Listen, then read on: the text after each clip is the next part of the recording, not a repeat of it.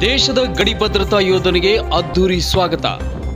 ದೇಶದ ಗಡಿ ಭದ್ರತಾ ಪಡೆಯಲ್ಲಿ ಸೇವೆ ಸಲ್ಲಿಸಿ ನಿವೃತ್ತಿ ಹೊಂದಿದ ತೆಕ್ಕಲಕೋಟೆಯ ಎಮ್ಮಿಗನೂರು ಶೇಖ್ ಸಾಬ್ ಅವರನ್ನ ಸಿರುಗುಪ್ಪ ತಾಲೂಕಿನ ದೇಶಭಕ್ತರು ಅದ್ದೂರಿಯಾಗಿ ಸ್ವಾಗತಿಸಿದರು. ನಂತರ ನಗರದ ತಾಲೂಕಾ ಕ್ರೀಡಾಂಗಣದಿಂದ ಪ್ರಮುಖ ಬೀದಿಗಳಲ್ಲಿ ವಿವಿಧ ವಾದ್ಯಗಳೊಂದಿಗೆ ತೆರೆದ ವಾಹನದಲ್ಲಿ ಹೂಗಳನ್ನು ಎರಚುತ್ತಾ ಮೆರವಣಿಗೆ ನಡೆಸಿದರು. ಹಾಗೂ ಸಂಜೆ ನಡೆದ ಕಾರ್ಯಕ್ರಮದಲ್ಲಿ ತಾಲೂಕಿನ ವಿವಿಧ ಅಧಿಕಾರಿಗಳು, ಗಣ್ಯರು, ಬಿಎಸ್ಎಫ್ ಯೋಧ ಎಮ್ಮಿಗನೂರು ಶೇಖ್ ಸಾಬ್ ಅವರಿಗೆ ಸನ್ಮಾನ ಮಾಡಿದರು. ಇವರು ತಾಲೂಕಿನ ತೆಕ್ಕಲಕೋಟೆಯ ಮೌಲಾಸಾಬ್ ಕಾಸಿಂಬಿ ದಂಪತಿಯ ಹೆಮ್ಮೆಯ ಸುಪುತ್ರ. ಎಮ್ಮಿಗನೂರು ಶೇಖ್ ದೇಶದ ಗಡಿ ಭದ್ರತಾ ಪಡೆಯಲ್ಲಿ ಇಪ್ಪತ್ತೆರಡು ವರ್ಷಗಳ ಸೇವೆ ಸಲ್ಲಿಸಿ ಇಂದು ತವರಿಗೆ ಆಗಮಿಸಿದ್ದಾರೆ. ಬಿಎ ವಿದ್ಯಾಭ್ಯಾಸ ಮುಗಿಸಿ ಜೂನ್ ಇಪ್ಪತ್ತಾರು, ಎರಡು ಸಾವಿರರಂದು ಬಿಎಸ್ಎಫ್ಗೆ ಆಯ್ಕೆಯಾಗಿ ಕಾಶ್ಮೀರದ ಶ್ರೀನಗರದಲ್ಲಿ ತರಬೇತಿ ಪಡೆದು ನಂತರ ಜಮ್ಮು ಕಾಶ್ಮೀರ, ಪಂಜಾಬ್, ಗುಜರಾತ್, ರಾಜಸ್ಥಾನ, ಪಶ್ಚಿಮ ಬಂಗಾಳ ಹಾಗೂ ಭಾರತ ಮತ್ತು ಪಾಕಿಸ್ತಾನ ಹಾಗೂ ಭಾರತ ಮತ್ತು ಬಾಂಗ್ಲಾ ಗಡಿಗಳಲ್ಲಿ ನಾಲ್ಕು ವರ್ಷ ಎಂಟು ತಿಂಗಳು ಸೇವೆ ಸಲ್ಲಿಸಿದ್ದಾರೆ. ದೇಶಕ್ಕೆ ಮಾರಕವಾದ ನಕ್ಸಲೇಟ್ಗಳ ವಿರುದ್ಧ ವಿಶೇಷ ಕಾರ್ಯಾಚರಣೆಯಲ್ಲಿ ಸೇವೆ ಸಲ್ಲಿಸಿ ಇವರಿಗೆ ಉತ್ಕೃಷ್ಟ ಸೇವಾ ಪದಕ ಪಡೆದು ತಮ್ಮ ಜೀವನದ ಯೌವನಾದಿಗಳನ್ನು ದೇಶಕ್ಕಾಗಿ ಮುಡಿಪಾಗಿಟ್ಟು ಧೀರ ಯೋಧನಾಗಿ ಮಧ್ಯಪ್ರದೇಶ ರಾಜ್ಯದ ಗ್ವಾಲಿಯರ್ನಲ್ಲಿ ಸೇವೆಯಿಂದ ನಿವೃತ್ತಿ ಹೊಂದಿ ಕರುನಾಡಿಗೆ ಇಂದು ಆಗಮಿಸಿದ್ದಾರೆ. Rajasab Siruguppa, NKS TV four Siruguppa.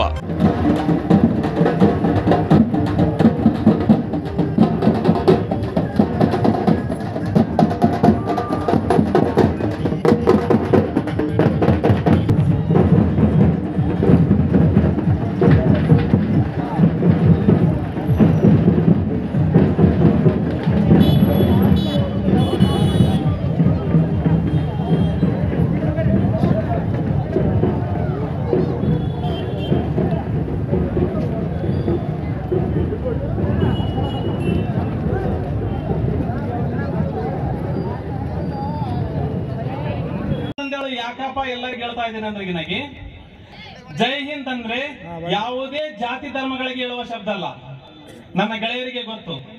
ಜೈ ಹಿಂದ್ ಅಂದ್ರಿಗಿನಾಗಿ ನಮ್ಮ ಮಾತೃಭೂಮಿಗೆ ಸಲ್ತಕ್ಕಂತ ನಮನ. ಜೈ ಹಿಂದ್ ಅಂದ್ರೆ ಹಿಂದೂಸ್ತಾನಕ್ಕೆ ಜೈ. ಯಾವುದೇ ಜಾತಿಗಳಿಗೆ, ಯಾವುದೇ ಧರ್ಮಗಳಿಗೆ ಹೇಳ್ತಕ್ಕಂತ ಶಬ್ದ ಅಲ್ಲ ಇದುವರೆಗೆ ನಾನು ಎಷ್ಟೋ ಶಾಲಾ ಕಾಲೇಜುಗಳಲ್ಲಿ ಹೋದ್ರೆ ಕೂಡ ಇದನ್ನೇ ಹೇಳ್ತಕ್ಕಂಥದ್ದು. ನಮ್ಮ ಗೆಳೆಯರಲ್ಲಿ ಕೂಡ ಫೋನಲ್ಲಿ ಮಾತಾಡಿದ್ರೆ ಕೂಡ ನಾವು ಜೈ ಹಿಂದ್, ಜೈ ಕರ್ನಾಟಕ ಅಂತಂದು ಹೇಳ್ತೇವೆ ನಮ್ಮ ಮಾತು. ನಮ್ಮ ಮಾತೃಭೂಮಿಗೆ, ನಮ್ಮ ನುಡಿ ಗದಗ್ ಜಿಲ್ಲೆಯ ರೋಣನಗರದಲ್ಲಿ ಬೈಕ್ ರ್ಯಾಲಿಯನ್ನು ನೆರವೇರಿಸಲಾಯಿತು. ಭಾರತೀಯ ಜನತಾ ಪಕ್ಷ ರೋಣ ಮಂಡಳದ ವತಿಯಿಂದ ಸ್ವತಂತ್ರ ಅಮೃತ ಮಹೋತ್ಸವದ ಪ್ರಯುಕ್ತವಾಗಿ ರೋಣನಗರದಲ್ಲಿ ಬೈಕ್ ರ್ಯಾಲಿಯನ್ನು ನಡೆಸಲಾಯಿತು. ಶ್ರೀ ಸಾಧು ಅಜ್ಜನಮಠ ಮುಗುಳಿ ರಸ್ತೆಯಿಂದ ಪ್ರಾರಂಭವಾಗಿ ನಗರದ ಪ್ರಮುಖ ಬೀದಿಗಳಲ್ಲಿ ಸೂಡಿ ಕ್ರಾಸ್, ಮುಲ್ಲನ್ ಬಾವಿ ಕ್ರಾಸ್, ಪೋತರಾಜನಕಟ್ಟೆ, ಎಲ್ಲ ತಾಲೂಕಾ ಕಚೇರಿ ಮುಂದುಗಡೆ ಹಾದು ಹೋಗುವ ರಸ್ತೆ ಸಾರ್ವಜನಿಕ ಸ್ಥಳ ಬೈಕ್ ರ್ಯಾಲಿಯನ್ನು ನೆರವೇರಿಸಲಾಯಿತು. ಈ ಸಂದರ್ಭದಲ್ಲಿ ಅಧ್ಯಕ್ಷರಾದ ಮುತ್ತಣ್ಣ ಕಡ್ಗದ್ ಅನಿಲ್ ಪಲ್ಲೇದ್, ಬಸವರಾಜ್ ಕೊಟ್ಗಿ, ಮಂಜು ಕೊಪ್ಪದ್, ಶಿವಾನಂದ್ ಜಿಡ್ಡಿ ಬಾಗಿಲ್, ಬಾಬು ಕುರ್ಹಟ್ಟಿ, ಶಂಕರಯ್ಯ ಹಿರೇಮಠ್, ರಾಜಣ್ಣ ಹುಲಿ ಯುವಕರು, ಬಿಜೆಪಿ ಮುಖಂಡರು ಈ ಸಂದರ್ಭದಲ್ಲಿ ಉಪಸ್ಥಿತರಿದ್ದರು. Rudrappa Hebballi NKS TV four Rona.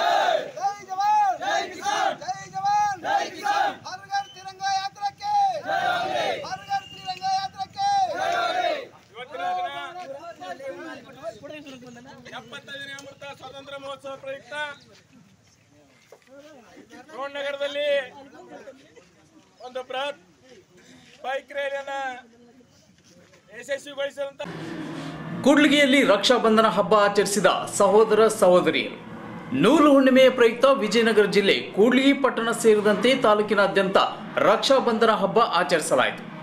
ಸಹೋದರಿಗೆ ಸಹೋದರಿಯರು ರಾಖಿ ಕಟ್ಟುವ ಮೂಲಕ ಮತ್ತು ಸಿಹಿ ತಿನ್ನಿಸುವ ಮೂಲಕ ಶುಭ ಹಾರೈಸುವ ಮೂಲಕ ಬಹು ಅರ್ಥಪೂರ್ಣವಾಗಿ ರಕ್ಷಾಬಂಧನ ಹಬ್ಬವನ್ನು ಆಚರಿಸಲಾಯಿತು.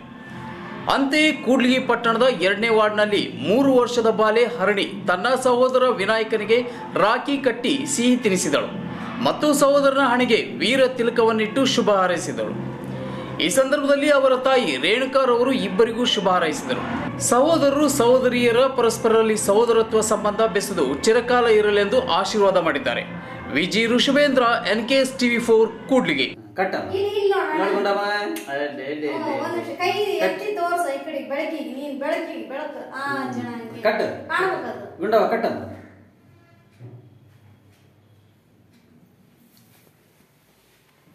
ಹಿಡ್ಕ ಹಂಗ್ ಹಿಡ್ಕ ಹಂಗ್ ಹಿಡ್ಕ ಅನ್ನ, ಹಂಗ್ ಹಿಡ್ಕ ಅನ್ನ. ಹಾ, ಹಂಗೆ. ವೆರಿ ಗುಡ್ ಸಕ್ರೆ ಕೊಡು ಹಣ್ಣಗ. ಸಕ್ರೆ ತಿನ್ಸಿ.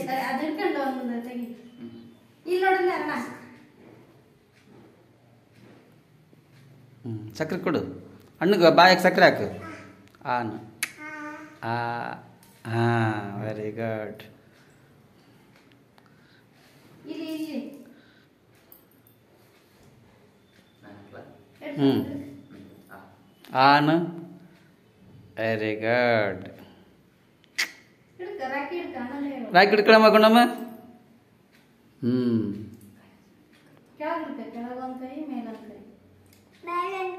ಹ್ಞೂ ಇಲ್ಲಿ ನೋಡು. ಇಲ್ಲಿ ನೋಡು. ಏನ್ ಮಾಡ್ಕತ್ಯಮ್ಮ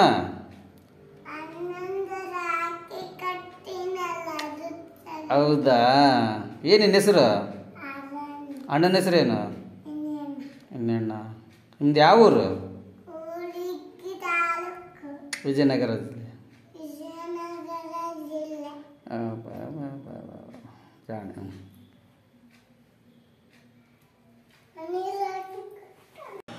ಕೊಪ್ಪಳ ಜಿಲ್ಲೆ ಕುಷ್ಟಗಿ ತಾಲೂಕಿನ ಹನುಮನಾಳ ಗ್ರಾಮದ ಸರ್ಕಾರಿ ಪ್ರೌಢಶಾಲೆಯ ನೂತನ ಕೊಠಡಿಯ ಉದ್ಘಾಟನಾ ಸಮಾರಂಭ ಹಮ್ಮಿಕೊಳ್ಳಲಾಗಿತ್ತು. ಕಾರ್ಯಕ್ರಮಕ್ಕೆ ಸ್ಥಳೀಯ ಗ್ರಾಮ ಪಂಚಾಯತಿ ಸದಸ್ಯರನ್ನ ಮತ್ತು ಅಧಿಕಾರಿಗಳನ್ನ ಬಿಟ್ಟು ಏಕಾಏಕಿಯಾಗಿ ಕ್ಷೇತ್ರದ ಶಾಸಕರು ಬಂದು ಕೊಠಡಿಯನ್ನ ಉದ್ಘಾಟಿಸಿದ್ದಾರೆ. ಕುಷ್ಟಗಿ ತಾಲೂಕಿನ ಹನುಮನಾಳ ಗ್ರಾಮದ ಸರ್ಕಾರಿ ಪ್ರೌಢಶಾಲೆ ನಮ್ಮ ಗ್ರಾಮ ಪಂಚಾಯತಿ ವ್ಯಾಪ್ತಿಯಲ್ಲಿ ಬರುತ್ತದೆ. ನಮಗೆ ಯಾವುದೇ ಮಾಹಿತಿಯನ್ನ ನೀಡದೆ ಶಾಸಕರು ಶಾಲಾ ಕೊಠಡಿಯನ್ನ ಉದ್ಘಾಟಿಸಿದ್ದು ನಮಗೆ ಬೇಸರವನ್ನು ಉಂಟು ಮಾಡಿದೆ ಹೀಗೆ ಈಗೆಂದು ಗ್ರಾಮಸ್ಥರು, ಗ್ರಾಮ ಪಂಚಾಯಿತಿ ಸದಸ್ಯರು ಹಾಗೂ ಅಧಿಕಾರಿಗಳು ಶಾಸಕರ ವಿರುದ್ಧ ಆಕ್ರೋಶವನ್ನ ವ್ಯಕ್ತಪಡಿಸಿದರು. Bureau report N K S TV four Koppal.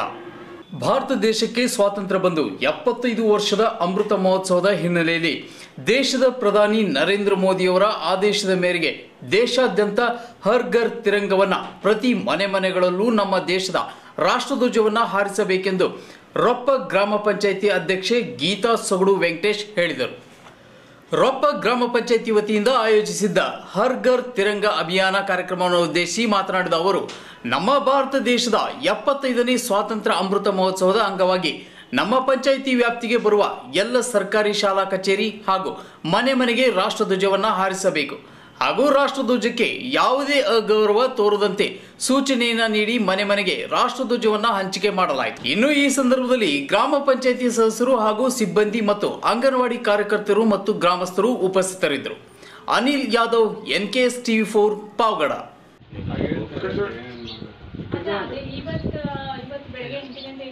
ಹದಿಮೂರನೇ ತಾರೀಕು ಸಾರಿ ನಾಳೆ ಬೆಳಗ್ಗೆ ಎಂಟು ಗಂಟೆಯಿಂದನೂ ಹದಿನೈದನೇ ತಾರೀಕು ಸಂಜೆ ಸೂರ್ಯಾಸ್ತಮ ಆಗೋವರೆಗೂ ಬಾವುಟ ಮನೆ ಮೇಲೆ ಹಾರಿಸ್ಕೋಬೇಕು. ಇದು ನಮ್ಮ ಭಾರತ ದೇಶಕ್ಕೆ ನಾವು ಕೊಡ್ತಾ ಇರುವಂತಹ ಗೌರವ. ಈ ಸರಿ ಎಪ್ಪತ್ತೈದನೇ ಅಮೃತ ಮಹೋತ್ಸವ ಅಂತ ಹೇಳಿ ಅವರವ್ರ ಫ್ಯಾಮಿಲಿಗಳು ಕೂಡ ಪ್ರತಿಯೊಂದು ಮನೆಯಲ್ಲಿ ಕೂಡ ಒಂದು ನಮ್ಮ ಭಾರತ ದೇಶಕ್ಕೆ ರೆಸ್ಪೆಕ್ಟ್ ಕೊಡಬೇಕು, ಒಂದು ಗೌರವ ಸೂಚಿಸ್ಬೇಕು ಅಂತ ಈ ಥರ ಮಾಡ್ತಿದ್ದಾರೆ. ಮನೆ ಮೇಲೆ ಹಾಕ್ಬೇಕು, ಮತ್ತೆ ಯಾವುದೇ ಧಕ್ಕೆ ಬರಬಾರ್ದು ಇದಕ್ಕೆ. ಅಂದ್ರೆ ಬೀಳೋದಾಗ್ಲಿ ಆ ಥರ ಏನು ಆಗ್ತಿರೋ ಥರ ಕರೆಕ್ಟಾಗಿ ಇದು ಮಾಡಿ ತೆಗಿಬೇಕು ಸಂಜೆ ಬಿಚ್ಚಿಗೆ ಆ ಕಡೆ ನೋಡ್ರಿ ಫೋಟೋ ನೋಡ್ರಿ.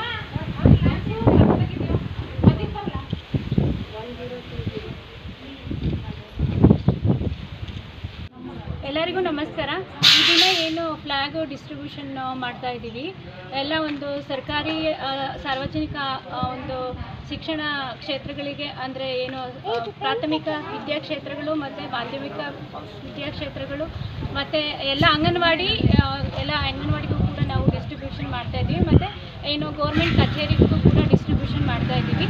ಈ ಸರಿ ಏನು ವಿಶೇಷತೆ ಅಂದರೆ ಎಪ್ಪತ್ತೈದನೇ ವರ್ಷದ ಅಮೃತ ಮಹೋತ್ಸವನ ಈ ಒಂದು ಎಪ್ಪತ್ತೈದನೇ ಸ್ವಾತಂತ್ರ್ಯ ದಿನಾಚರಣೆಯ ಅಂಗವಾಗಿ ನಾವು ಸೆಲೆಬ್ರೇಟ್ ಮಾಡ್ತಾ ಇದ್ದೀವಿ. ಇದರಲ್ಲಿ ಏನಂದರೆ ಮನೆ ಮನೆಗೂ ಬಾವುಟ ಆರಿಸ್ಬೇಕು ಅನ್ನೋ ಅಂತ ಒಂದು ಉದ್ದೇಶ ಇಟ್ಕೊಂಡು ಈ ಸರಿ ಒಂದು ಈ ಒಂದು ಎಪ್ಪತ್ತೈದನೇ ವರ್ಷದ ಅಮೃತ ಮಹೋತ್ಸವವನ್ನು ಆಚರಣೆ ಮಾಡ್ತಾ ಇದ್ದೀವಿ. ಸೊ ಎಲ್ಲರೂ ಅವರವರ ಕುಟುಂಬಗಳ ಜೊತೆ ಈ ಸರಿ ಒಂದು ಸ್ವತಂತ್ರ ದಿನಾಚರಣೆ ಸ್ವಾತಂತ್ರ್ಯ ದಿನಾಚರಣೆಯನ್ನು ಆಚರಣೆ ಮಾಡ್ತಾ ಇರೋದು ವಿಶೇಷ. ಹಾಗಾಗಿ ಎಲ್ಲ ಸಾರ್ವಜನಿಕರಲ್ಲಿ ವಿನಂತಿ, ಸ್ವಾತಂತ್ರ್ಯವನ್ನು ತಂದುಕೊಟ್ಟಿದ್ದಾರೆ.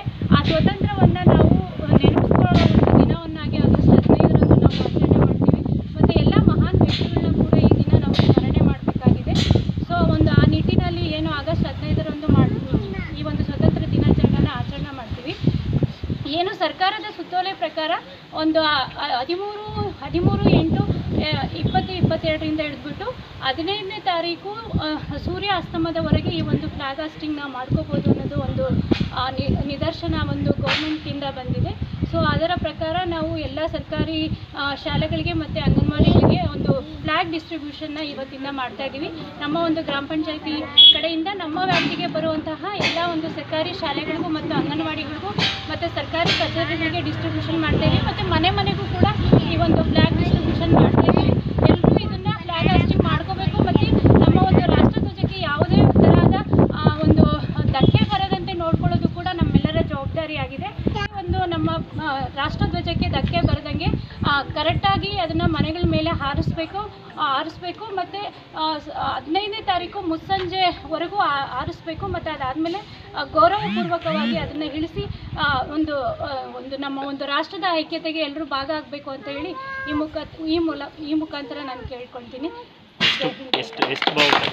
ಆಜಾದಿಕ. ಅಮೃತ ಮಹೋತ್ಸವ ಹಿನ್ನೆಲೆಯಲ್ಲಿ ದೇಶದ ಎಪ್ಪತ್ತೈದನೇ ಸ್ವಾತಂತ್ರ್ಯ ಮಹೋತ್ಸವದ ನಿಮಿತ್ತವಾಗಿ ಸಂಡೂರು ತಾಲೂಕಿನ ಸುಶೀಲ್ ನಗರ ಗ್ರಾಮ ಪಂಚಾಯಿತಿಯ ಎರಡ್ ಸಾವಿರದ ನಾಲ್ಕುನೂರು ಮನೆಗಳ ಮೇಲೆ ತಿರಂಗ ಧ್ವಜ ಹಾರಿಸುವ ಗುರಿ ಇಟ್ಟುಕೊಂಡಿದ್ದೇವೆ ಎಂದು ಸುಶೀಲ್ ನಗರ ಗ್ರಾಮ ಪಂಚಾಯಿತಿ ಅಧ್ಯಕ್ಷ ಎಲ್ ಅಮರೇಶ್ ಹೇಳಿದರು. ಅವರು ಅಂಗನವಾಡಿ ಕಾರ್ಯಕರ್ತೆಯರಿಗೆ ಮತ್ತು ಸಹಾಯಕಿಯರಿಗೆ ಅಂಗನವಾಡಿ ಕೇಂದ್ರಗಳ ಮೇಲೆ ಧ್ವಜ ಹಾರಿಸುವ ಕುರಿತು ಮತ್ತು ಧ್ವಜ ಸಮಿತಿಯ ಕುರಿತು ಅವರು ಮಾತನಾಡಿದರು. ನಮ್ಮ ದೇಶ ಸ್ವಾತಂತ್ರ್ಯ ಪಡೆದು ಎಪ್ಪತ್ತೈದು ವರ್ಷಗಳು ಗತಿಸಿವೆ. ಇದರ ಹಿನ್ನೆಲೆಯಲ್ಲಿ ಪ್ರಧಾನಮಂತ್ರಿ ನರೇಂದ್ರ ಮೋದಿಯವರು ಅಮೃತ ಮಹೋತ್ಸವವನ್ನು ವಿಶಿಷ್ಟವಾಗಿ ಆಚರಿಸಲು ಕರೆ ನೀಡಿದ್ದಾರೆ. ರಾಷ್ಟ್ರಧ್ವಜವನ್ನ ಆಗಸ್ಟ್ ಹದಿಮೂರರಿಂದ ಹದಿನೈದರವರೆಗೆ ಪ್ರತಿ ಮನೆಗಳ ಮೇಲೆ ಧ್ವಜ ಹಾರಾಡಲಿ ಎಂದು ಕರೆ ನೀಡಿದರು. ಗ್ರಾಮ ಪಂಚಾಯತಿಗಳು ವ್ಯಾಪ್ತಿಯಲ್ಲಿ ಬರುವ ಎರಡು ಸಾವಿರದ ನಾಲ್ಕುನೂರು ಮನೆಗಳ ಮೇಲೆ ತಿರಂಗ ಧ್ವಜ ಹಾರಿಸಲು ಪ್ರತಿಯೊಂದು ಪಂಚಾಯಿತಿ ಪಿಡಿಒ, ಗ್ರಾಮ ಲೆಕ್ಕಾಧಿಕಾರಿಗಳ ಸಹಯೋಗದೊಂದಿಗೆ ಧ್ವಜಗಳನ್ನು ಮುಟ್ಟಿಸಿದ್ದು ಧ್ವಜ ಹಾರಿಸುವ ವ್ಯವಸ್ಥೆ ಮಾಡಲಾಗಿದೆ. ಅಷ್ಟೇ ಅಲ್ಲದೆ ತಾಲೂಕಿನ ಪ್ರತಿ ಅಂಗನವಾಡಿ ಕೇಂದ್ರಗಳಿಗೂ ಧ್ವಜಗಳನ್ನು ಪೂರೈಕೆ ಮಾಡಲಾಗಿದೆ. ಇನ್ನು ತಾಲೂಕಿನ ಸಮಸ್ತ ನಾಗರಿಕರು ಸರ್ಕಾರದಿಂದ ಧ್ವಜ ಮುಟ್ಟಿಸಿದವರು ಅಷ್ಟೇ ಅಲ್ಲದೆ ಪ್ರತಿಯೊಬ್ಬರು ದೇಶದ ಭಕ್ತಿ ವ್ಯಕ್ತಪಡಿಸಲು ನಿಷ್ಠೆಯಿಂದ ನಿಮ್ಮ ಮನೆಗಳ ಮೇಲೆ ಧ್ವಜ ಹರಿಸಿರಿ ಎಂದು ಹೇಳಿದರು. ಈ ಸಂದರ್ಭದಲ್ಲಿ ಉಪಾಧ್ಯಕ್ಷರು ಹುಳಗಪ್ಪ, ವಾರ್ಡ್ ಮೆಂಬರ್ಸ್, ಪಂಚಾಯಿತಿ ಅಧಿಕಾರಿ ಸಿದ್ದಲಿಂಗಪ್ಪ ಸೇರಿದಂತೆ ಮುಂತಾದವರು ಉಪಸ್ಥಿತರಿದ್ದರು. Srinivas, NKS TV four, Sandur. Koratagere ತಾಲೂಕಿನ ಕೋಳಾಲ್ ಗ್ರಾಮದ ಮುಖ್ಯ ರಸ್ತೆಯಲ್ಲಿ ಕೊರಟಗೆರೆ ವಿಧಾನಸಭಾ ಕ್ಷೇತ್ರದ ಎರಡ್ ಸಾವಿರದ ಇಪ್ಪತ್ತ್ ಮೂರರ ಚುನಾವಣೆಗೆ ಸ್ಪರ್ಧಿಸಲು ಬಿಜೆಪಿ ಪಕ್ಷದ ಸಂಭಾವ್ಯ ಅಭ್ಯರ್ಥಿಯಾಗಿ ಕಳೆದ ಮೂರು ವರ್ಷಗಳಿಂದ ಕ್ಷೇತ್ರದಲ್ಲಿ ನಿರಂತರವಾಗಿ ಕೆಲಸ ಮಾಡುತ್ತಿರುವಂತಹ ಬಿಜೆಪಿ ಮುಖಂಡ ಹಾಗೂ ಸಮಾಜ ಸೇವಕರಾದ ಕೆಎಂ ಮುನಿಯಪ್ಪನವರ ಅಭಿಮಾನಿ ವರ್ಗ ಇಂದು ಕೋಳಾಲದಲ್ಲಿ ಕೆಎಂ ಮುನಿಯಪ್ಪ ಅಭಿಮಾನಿ ಗೆಳೆಯರ ಬಳಗ ನೂತನ ಕಚೇರಿಯನ್ನು ಉದ್ಘಾಟನೆ ಮಾಡಲಾಯಿತು. ಕ್ಷೇತ್ರದ ನಾಲ್ಕು ದಿಕ್ಕುಗಳಲ್ಲಿ ಈಗಾಗಲೇ ಬಿಜೆಪಿ ಪಕ್ಷದಿಂದ ಮುಂಬರುವಂತಹ ವಿಧಾನಸಭಾ ಚುನಾವಣೆಗೆ ಬಿಜೆಪಿ ಪಕ್ಷದಿಂದ ಸಂಭಾವ್ಯ ಅಭ್ಯರ್ಥಿಯಾಗಿ ಸ್ಪರ್ಧಿಸಲು ಕೆಎಂ ಮುನಿಯಪ್ಪನವರು ನಿರಂತರವಾಗಿ ಕೆಲಸ ಮಾಡುತ್ತಿರುವುದು ಕಂಡುಬಂದಿದೆ. ಹಾಗಾಗಿ ಇನ್ನೂ ಮುಂದಿನ ದಿನಗಳಲ್ಲಿ ಬಡವರ ಪರ ಕೆಲಸ ಮಾಡುವ ಉದ್ದೇಶದಿಂದ ಕೋಳಾಲ ಹೋಬಳಿಯ ಸಮಾಜ ಸೇವಕ ಮುನಿಯಪ್ಪನವರ ಅಭಿಮಾನಿ ವರ್ಗವು ಕಚೇರಿಯನ್ನು ಸ್ಥಾಪನೆ ಮಾಡಲಾಗಿದೆ. ಕಳೆದ ಮೂರು ವರ್ಷಗಳಿಂದ ಕ್ಷೇತ್ರದಲ್ಲಿ ನಿರ್ಗತಿಕರ ಬಡವರ ರೈತರ, ನಿರಾಶ್ರಿತರ ಆಟೋ ಚಾಲಕರ ಅಂಗನವಾಡಿ ಆಶಾ ಕಾರ್ಯಕರ್ತರ ಮತ್ತು ಭೂವಿ ಜನಾಂಗದ ಬಡವರ ಪರ ನಿರಂತರವಾಗಿ ಕೆಲಸ ಮಾಡುತ್ತಿರುವ ಮುನಿಯಪ್ಪನವರ ಮುಂದಿನ ರಾಜಕೀಯದ ಉದ್ದೇಶವಾಗಿ ಬಿಜೆಪಿ ಪಕ್ಷವನ್ನು ಕ್ಷೇತ್ರದಲ್ಲಿ ಇನ್ನೂ ಬಲಿಷ್ಠವಾಗಿ ಕಟ್ಟಿ ಬೆಳೆಸುವ ನಿಟ್ಟಿನಲ್ಲಿ ಮತ್ತು ಸಂಘಟನೆ ಮಾಡುವ ಸಲುವಾಗಿ ಕಚೇರಿ ಅವಶ್ಯಕ ಇರುವ ಕಾರಣ ಕಚೇರಿಯನ್ನು ಕರೆ ಮಾಡಿ ಬಡವರ ಕುಂದು ಕೊರತೆಗಳನ್ನು ಆಲಿಸುವ ಕೆಲಸ ಮಾಡಲು ಸಮಾಜ ಸೇವಕ ಬಿಜೆಪಿ ಮುಖಂಡ ಕೆಎಂ ಮುನಿಯಪ್ಪನವರು ಮುಂದಾಗಿದ್ದಾರೆಂದು ಅಭಿಮಾನಿಗಳು ತಿಳಿಸಿದರು. Devaraj KN, NKS TV four, Koratagere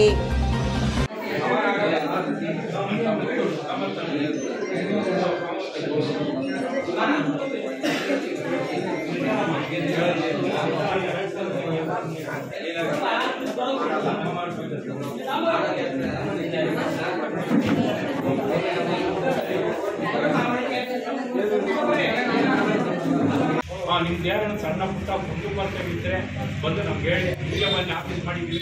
ಇವತ್ತಿಲ್ಲ ನಿಮ್ಮ ಕಲ್ಚರ್ ಬಂದಿದ್ದೋಸ್ಕರ ನಾವು ಆಫೀಸ್ ಮಾಡಿದ್ದೀವಿ ಇಲ್ಲಿ. ಬಂದು ಹೇಳಿ, ನಮ್ಗಿಂತ ಸಣ್ಣ ಸಣ್ಣ ಪುಟ್ಟ ಕೆಲಸ ಬಗ್ಗೆ ನಮ್ಗೆ ಹೇಳಿ, ನಾವು ಇಲ್ಲಿಂದ ನಿಮ್ಮ ಮುಂದೆ ಬರ್ತೇವೆ ನಿವಾರಣೆ ಮಾಡೋಕ್ಕೆ ನಾವು ಪ್ರಯತ್ನ ಪಡ್ತೀವಿ. ನಿಮ್ಮ ಜೊತೆಲಿ ಇರ್ತೀವಿ ನಿಮ್ಮ ಸ್ವಂತ ಅಣ್ಣ ತಮ್ಮನಾಗಿ ಇರ್ತೀವಿ ನಾನು ಇವತ್ತು ಏನು ಏನಿದ್ದೀನಿ ಇದೇ ರೀತಿ ನಾನು ನಾಳೆ ದಿವಸ ಎಂ ಎಲ್ ಎ ಮೇಲೂ ಇದೇ ರೀತಿ ನಾನು ನಾಳೆ ದಿವಸ ನಿಮ್ಮ ನಿಮ್ಮೆಲ್ಲರ ಆಶೀರ್ವಾದ ಇಲ್ಲಿ ಅಂತ ಹೇಳ್ತಾ ನಾನು ಮಾತಾಡೋಕೆ ಅವಕಾಶ ಮಾಡಿಕೊಟ್ಟ. ಮುಖಂಡರ ಮುಖಂಡ B J P M L A ಅಭ್ಯರ್ಥಿ ಆಕಾಂಕ್ಷಿ. ನಾನು ಕೋಡಲ ಕೋಡಲ ಗ್ರಾಮದಲ್ಲಿ ಇವತ್ತು ಒಂದು ಆಫೀಸು, ಕಚೇರಿ ಉದ್ಘಾಟನೆ ಮಾಡಿದ್ದೇವೆ. ಕಚೇರಿ ಪ್ರಾರಂಭ ಮಾಡೋಣ. ಭಾರತೀಯ ಜನತಾ ಪಕ್ಷದ ಬೆಳವಣಿಗೆಗೋಸ್ಕರ, ಬೆಳೆ, ಅಭಿವೃದ್ಧಿಗೋಸ್ಕರ ನಾವು ಇಲ್ಲಿ ಆಫೀಸ್ ಮಾಡ್ತಾ ಇದ್ದೀವಿ. ಇಷ್ಟು ದಿನ ಎಲ್ಲ ಅಣ್ಣ ತಮ್ಮಂದಿರ ಜೊತೆ, ಅಕ್ಕ ತಂಗಿಯರ ಜೊತೆ ಓಡಾಡ್ಕೊಂಡು ಪ್ರತಿ ಮನೆಗೂ ಭೇಟಿ ಕೊಟ್ಕೊಂಡು ಪರಿಚಯಕ್ಕೆ ಹೋಗ್ತಾ ಇದೆ ಈ ಕೋಡಲ ಭಾಗದಲ್ಲಿ ಕೆರೆ ತುಂಬಿದಾಗ ಬಾಗಿನ ಅರ್ಪಿಸಿದ್ವಿ ಮುತ್ತೈದೆಯರಿಗೆ ಸೀರೆ ವಿತರಣೆ ಕೊಟ್ಟು ಕೆರೆಗೆ ಗಂಗೆ ತಾಯಿಗೆ ಪೂಜೆ ಅರ್ಪಿಸಿದ್ವಿ. ಆವತ್ತಿಂದ ಹುಡುಗರೆಲ್ಲ ಮಾತಾಡಿ ಇಲ್ಲಿ ಯುವಕರೆಲ್ಲ ಸೇರಿ ಮಾತಾಡಿ, ಒಂದು ಆಫೀಸ್ ಮಾಡಿ, ಇಲ್ಲಿಂದ ನಾವು ಪಕ್ಷ ಕಟ್ಟೋಣ, ಇನ್ನು ಮುಂದೆ ಪಕ್ಷ ಭಾರತೀಯ ಜನತಾ ಪಕ್ಷ ಕಟ್ಟೋಣ ಅಂತ ಸಲಹೆ ಕೊಟ್ಟರು ಆ ಅದರ ಅವರ ಸಲಹೆ ಮೇರೆಗೆ ನಾನು ಇವತ್ತು ಆಫೀಸ್ ಓಪನ್ ಮಾಡಿದ್ದೀನಿ ಇಲ್ಲಿ. ಇನ್ನು ಮುಂದೆ ಈ ಕೋಳಲ ಭಾಗದಲ್ಲಿ ಕೋಳಲ ಹೋಗಿ ಪೂರ್ತಿ ಎಲ್ಲ ಮನೆಗೂ ಒಂದು ಸೀರೆ ಕೊಟ್ಟು ಹೆಣ್ಣು ಮಕ್ಕಳಿಗೆ ಅಕ್ಕ ತಂಗಿ ಕೊಟ್ಟು ನಾನು ಪರಿಚಯ ಮಾಡ್ಕೋಬೇಕಂತ ಬಂದಿದ್ದೀನಿ. ಬರ್ತೀನಿ ನಾಳೆಯಿಂದ, ಪ್ರತಿ ಮನೆಗೂ ಕೊಡ್ತೀವಿ. ಪ್ರತಿಯೊಬ್ಬರ ಮನೆಗೂ ಈ ಕಚೇರಿ ಓಪನ್ ಇನ್ನು ಏನು ಮಾಡಬೇಕು? ಸ್ವಲ್ಪ ಅರ್ಥ ಮಾಡ್ಕೋಬೇಕು. ಯಾಕೆ? ನಾನು ಭಯ, ಭಾರತೀಯ ಜನತಾ ಪಕ್ಷದ ಅಭ್ಯರ್ಥಿಯಾಗಿ ನಾನು ಬರ್ತಾ ನನ್ನ ನೀವು ಅತಿ ಹೆಚ್ಚಿನ ಓಟಲ್ಲಿ ಗೆಲ್ಲಿಸಬೇಕು ಅಂತ ಹೇಳಿ ಇವತ್ತು ಹಳ್ಳಿಯಲ್ಲಿ ನೋಡಿ ತನ್ನ ಕೈಲಾದ ಸಹಾಯಗಾರ ಮೂರು ವರ್ಷದಿಂದ ಸಹಾಯ ಮಾಡಿದರೆ ಇವತ್ತು ತಾವೆಲ್ಲರೂ ಮನಸ್ಸು ಮಾಡಬೇಕು. ನಿಜ ಬೇಕಾದಷ್ಟು ಜನ ಬರ್ತಾರೆ. ಈ ಕಡೆ ಕಾಂಗ್ರೆಸ್ನಿಂದ ಒಬ್ಬರು ಬರ್ಬೋದು ದಳದಿಂದ ಒಬ್ಬರು ಬರ್ಬೋದು, ಅಥವಾ ಸ್ವತಂತ್ರ ಪಕ್ಷದಿಂದ ಬರ್ಬೋದು. ಇವತ್ತು ಯಾರನ್ನ ಆಯ್ಕೆ ಮಾಡಬೇಕು? ಯಾರು ನಮ್ಮ ಕಷ್ಟ ಕಾರ್ಪೊರೇಟ್ಗಳಲ್ಲಿ ಭಾಗಿಯಾಗ್ತಾರೆ. ಭಾಳ ಯೋಚನೆ ಮಾಡೋದು ನೀವು. ಇಂಥ ಅವಕಾಶ ನಾವೆಲ್ಲ ಕಳ್ಕೊಂಡ್ರೆ ಇನ್ನು ಐದು ವರ್ಷ ನಮ್ಮಂಥ ಆ, ಮೂರ್ಖರು ಇಲ್ಲ ಅಂತ ಹೇಳಿ ಸಭೆಯಲ್ಲಿ ಹೇಳ್ತೀನಿ. ದಯವಿಟ್ಟು ಇನ್ನೂ ರಾಜಕೀಯ ಮುಖಂಡರು ಆಸೆ ಆಕಾಂಕ್ಷೆ ಬೇಕಾದಷ್ಟು ಕೊಡ್ತಾರೆ. ನಾವು ಹಿಮಾವತ್ ಪರ್ವತದಲ್ಲಿ ಅಂತ ಹೇಳ್ತಾರೆ. ನಾವು ಬೇಕಾದ್ರೆ ಕಲ್ಲಂಬಾಡಿ ನೀರಿನಲ್ಲಿ ಮೂರು ವರ್ಷ ಸುಮಾರು ಎಪ್ಪತ್ತೈದರಿಂದ ಎಂಬತ್ತು ಲಕ್ಷ. ನನಗೆ ಗೊತ್ತಿದ್ದವರಿಗೆ ಇನ್ನೂ ಬೇರೆ ಕಡೆ ಮಾಡಿದ್ದಾರೆ. ಅವೆಲ್ಲ ಲೆಕ್ಕ ಹಾಕೊಂಡ್ರೆ ಒಂದು ನಾಲ್ಕು ಕೋಟಿ ಆಗುತ್ತೆ. ಇವತ್ತು ನಿಮಗೆ ಸ್ಯಾಂಪಲ್ ಆಗಿ ಹೇಳ್ತೀನಿ. ಇಲ್ಲಿ ನಾಗೇನೇ ಒಂದು ಇದು ಒಂದು ದೇವಸ್ಥಾನ ಓಪನ್ ಮಾಡಿದ್ರು. ಅವತ್ತು ಐದು ಕ್ವಿಂಟಲ್ ಅಕ್ಕಿ ಕೊಟ್ಟರು ಅಲ್ಲಿರ್ತಕ್ಕಂಥ ಮುಖಂಡರಿಗೆಲ್ಲರೂ ಕೈಲ ಜನ ಸಹಾಯ ಮಾಡಿದ್ರು. ಆಮೇಲೆ ಕ್ಯಾಮೆರಡಿ ದೇವಸ್ಥಾನ. ದೇವಸ್ಥಾನಕ್ಕೆ ನಲವತ್ತು ಸಾವಿರ ಕೊಟ್ಟರು ಆ ಸುಬ್ರಹ್ಮಣ್ಯ ಬೆಳೆಯೋಕ್ಕೆ ಕ್ಯಾಸ್ವಾರದಲ್ಲಿ ನಲವತ್ತು ಸಾವಿರ ಕೊಟ್ಟರು. ಇಲ್ಲ, ಕೊರೋನಾ ಟೈಮ್ನಲ್ಲಿ ಸುಮಾರು ಹಳ್ಳಿಗಳಿಗೆ ಎಲ್ಲ ಹೆಣ್ಮಕ್ಳಿಗೂ ಐದುನೂರು ಐದುನೂರು ರೂಪಾಯಿ ಕೊಟ್ಟರು. ಅದು ಲೆಕ್ಕ ಹೇಳಬೇಕು ಅಂದರೆ ನಮ್ಮ ಗ್ರಾಮದಲ್ಲಿ ಒಂದು ಲಕ್ಷ ಎಂಬತ್ತೈದು ಸಾವಿರ ರೂಪಾಯಿ ಕೊಟ್ಟರು. ಇಳಕಲ್ ತಾಲೂಕಾ ದಂಡಾಧಿಕಾರಿಗಳ ಕಚೇರಿಯಲ್ಲಿ ಶರಣ ನೂರಿನ ಚಂದಯ್ಯನವರ ಒಂಬೈನೂರ ಹದಿಮೂರನೇ ಜಯಂತಿಯನ್ನು ಸಡಗರ ಸಂಭ್ರಮದಿಂದ ತಹಶೀಲ್ದಾರ್ ಬಸವರಾಜ್ ಮೇಳವಂಕಿ ಅಧ್ಯಕ್ಷತೆಯಲ್ಲಿ ಆಚರಿಸಲಾಯಿತು. ಈ ಸಮಯದಲ್ಲಿ ಮಾತನಾಡಿದ ಅವರು, ಬಸವಣ್ಣನವರ ಸಮಕಾಲೀನರಾದ ನೂಲಿ ಚಂದಯ್ಯನವರು ಸಾಕಷ್ಟು ವಚನಗಳನ್ನು ರಚಿಸಿ ಈ ಸಮಾಜಕ್ಕೆ ನೀಡಿದ್ದಾರೆ. ಅವರ ಆದರ್ಶಗಳನ್ನು ನಾವೆಲ್ಲರೂ ಪಾಲಿಸಿಕೊಂಡು ಹೋಗಬೇಕಾಗಿದೆ ಎಂದು ಹೇಳಿದರು. ಈ ಸಂದರ್ಭದಲ್ಲಿ ಸಮಾಜದ ಮುಖಂಡರು, ಪತ್ರಿಕಾ ಮಾಧ್ಯಮ ಮಿತ್ರರು ಮತ್ತು ಕಾರ್ಯಾಲಯ ಸಿಬ್ಬಂದಿಗಳೊಂದಿಗೆ ಪೂಜೆ ಮಾಡಲಾಯಿತು. ಶಿವಕುಮಾರ್ ಕೆಂಪಾವಿ, ಹಿರೇಮಠ್ ಮತ್ತು Channu Gonanmath NKS TV four